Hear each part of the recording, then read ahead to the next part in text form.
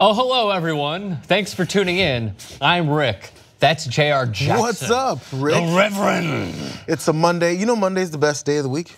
Why is that? Because it's the first day of the week. If you enjoy your life, you should enjoy the beginning You're going all like Gary Vee on week. us on a Monday. Monday is better than Fridays. Fridays is the end of your week, and it's like wrapping up, and things are almost over. Don't you want things to begin? It's a new, it's a new chance to be great. Doesn't the week turn on Sunday, though? The well, the work week starts Monday. No, I understand the work week, but like the actual week Oh, yes, begins. of course. Yes. Right, right. Yeah. But nothing happens on Sunday. Right.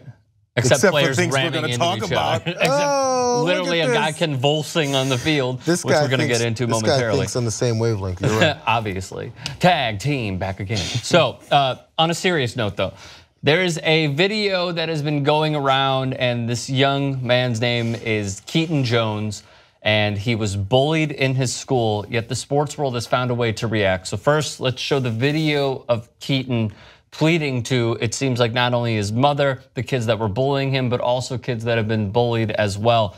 And just trying to bring an end to this while also having his authentic feelings just captured on camera. Just out of curiosity, why do they bully? What What's the point of it? Why do you find joy in taking innocent people and finding a way to be mean to them? It's not okay. What do they say to you? They call me, they make fun of my nose. They call me ugly. They say I have no friends. What'd they do to you at lunch? Pour milk on me and put hand down my clothes. Threw bread at me. Is it just you, Yep. or is it other kids too that feel that way? Say it's other kids too. How's that make you feel? Like that they do it to me, and I for sure don't like that they do it to other people, because not okay. People that are different don't need to be criticized about it, because it's not their fault. But if you are made fun of, just don't, don't let it bother you. Just stay strong, I guess. It's hard. Mm, but it'll probably get better one day. All right, again, very authentic. Um, and it should be noted before anybody has any sort of conspiracy theory about this. He is the one that asked his mother to record him. He also asked his mom to pick him up because he didn't want to go back to lunch, as I'm sure you could probably see why. Now, the amazing thing about this is that, like, we view the internet as sometimes the loneliest hellhole that you could possibly log on to just by simply searching on Google. Yet the internet has found a way to connect Keaton with many incredible athletes and a star studded field of athletes. And here are a few of the video responses. Well, here's J.R. Smith. Let's get to the video responses first from uh, the UFC and what have you. So take a look. I wanted to read a poem to you by Buddha. Our life is shaped by our mind. We become what we think. Joy follows a pure thought like a shadow that never leaves. Always remember that. You can be whoever you want to be. And again, um, sorry that bullying has been taking place at your school. I want you to know, bud, you got friends in the UFC. And uh, regardless of how dark it looks and how sad you may become, know that people are your friend and willing to stand with you. You never know what's going to happen, bud. I was bullied as a kid, and I became a UFC champion. So keep your head up, stay positive, and continue being a beautiful, great kid. And uh, things will turn around. I promise. keep your head up. I've seen your video, and it's heartbreaking. It's sad what these kids are doing to you. Do not let them break you, because that's when they really win. From CSU to Green Bay and all the way down here in Texas, we're pulling for you. We're praying for you. And we want you to know that never be ashamed of who you are. You're the strong one. Keep your head up. Stay strong. If you're ever in Los Angeles, you can come to my gym. If you're ever in Boston, you can come to my other gym and train there. If you want to learn how to protect yourself, you want to learn how to do self defense or Brazilian Jiu Jitsu, whatever you want, it's on me. Free classes. Love you, buddy. just remember, man, you you you one of a kind. Um, God made no mistakes. Um, your life is going to have a purpose. It's going to have um, some way you can reach someone else and inspire them by all the adversity that you face. So don't give up hope. Don't let these people get you down. Don't let them tell you who you are. Um, have a strong sense of self worth, and um, keep a smile on your face through it all, man. I, I apologize for all these mean people bullying you, and um, just know that UFC, we got your back.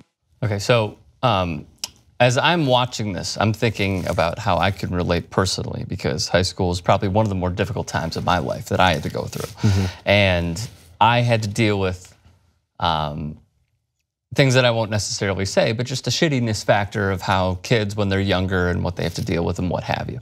I can tell you, I- had the support from very few people, and my parents were there as well. If I had this sort of support, I would go in double barrel middle finger to every single bully as I'm walking through. Because then they'd be like, oh shit, I wish I could befriend him now. But like, and we could roll through some of the tweets as well. But as I'm looking at this, it's just, it's so cool to see. And it's so cool to see how people are reacting and just trying to help out Keaton in every way. just for experiences. Like, okay, so what I saw from a lot of uh, the response was, and again, this, it's a little odd that this became not odd, but it's, everyone's pointing out that it went through a lot of athletes, Mm-hmm. right? Uh, it crossed over, of course, the entertainment folks and things like that. but Yeah, Millie Bobby Brown tweeted Yeah, the athletic stream went big. Mm-hmm. A lot of pro players and and uh, talkers and news guys and, and guys who still speak about a lot of sports invite him to their events or Right. you know.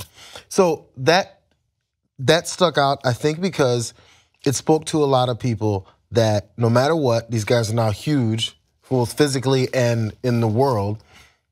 They were kids, and damn near all of them felt the same thing hmm. or dealt with the same thing. So people would assume, oh, these guys are cool, they're big guys, no one ever mess- messes with them, they can beat their ass. All that's the thought, but then it allowed them to reveal, hey, this happened to me too. And then I'm UFC champion. I'm a tight end for the Titans. No one even wants to look at me the wrong way now, you know? So um, maybe that also being part of the inspiration. Um, which I think is why it spoke to everyone, because I think everyone had it to some point. Even the people who um, are the bullies. This is this is. I was tweeting about this over the weekend because when I saw it, it it angered me. yeah. And um, I mean, I, I had a very mild level of of the bullying. I wouldn't even have called it bullying. It was teasing, is what I caught. And as soon as I responded for three to four days straight, it stopped because there was nothing else to get at someone. When someone's no longer bothered, there's there's no longer there's no more targets. So that's really where it comes from. He needs this kid. It'd help if he was inspired to not let it get to him. Once they know it doesn't get to him, they have no more ammunition. Right. Um, which again, with all these people that are reaching out to him, it gives him at least a coalition of people that say, "Hey, you're a good guy," and let those guys know that you're a good guy, and then they they can kind of stop. So, um, I, I do hope this turns around because what I think also can happen is guys like this, then if they don't get the help or support, they can turn into bullies. They find someone else that's a little Mm-hmm. That's right. weaker, a little bit more isolated, and and is a little bit more scared, and they go, okay, I need to take whatever is building up in me of the anger that I have, and then put it up on someone else. Because those kids bullying him, they might have some situations going on at home, They might. or wherever else they do their thing, and they've been bullied, and all of a sudden, it's a it's a vicious cycle. You know, kids aren't born to be assholes; they become it. So. Right. One last thing on this. So I, uh, DL Hughley Instagram this this collage picture. But it's a collage of this kid, his mother, their family, and their. Uh, where are they from? Tennessee. Tennessee. Um, Confederate flags, porch pictures where they're standing with flags and stand for the flag, and if you don't like us, then f you, and all that type of rhetoric. So now what's being inserted is don't feel bad for this kid because his family has these Confederate His and, parents. and potentially yeah, and family. There's a bunch of other folks around in some of these pictures have these leanings and tendencies. Let's not go for that. I agree. So by the way, I agree. This is this is some of the stuff that is being put out here about his family, which I don't know to the degree of, of truth to it, but whatever. Don't let it change how you feel about what's happened to this kid's emotions. What is he like 11, 12 years old, something, like that? Something like that, yeah. So this kid is still a kid. He's still growing up. He's still developing his his mindset and his approach to the world. His parents or fan members, whoever has these types of potentially racist uh, uh, uh, beliefs, are instilling it in him slowly. This is a chance where he doesn't have to believe that shit. to where he can be a different person.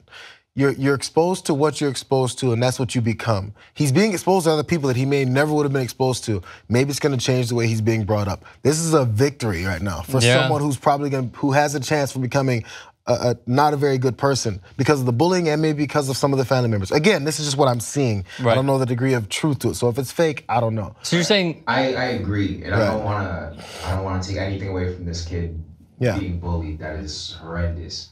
But I do want to take the opportunity to highlight the fact that exactly what this child said.